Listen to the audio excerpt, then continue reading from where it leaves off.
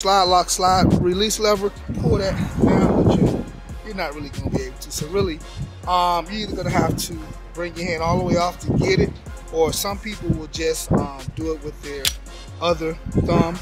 So yeah, but yeah, it's not gonna be easy if you're trying to pull that down with your uh, that mag uh, mag release, slide lock release lever with your thumb. But uh, they do co-witness the sights for you, so the sights are um, are co-witness, so that is nice. The serrations, um, you can I, I didn't get the, the, cutouts and everything, but the serrations are still nice. They're pretty uh, they're pretty steep. You can get a good,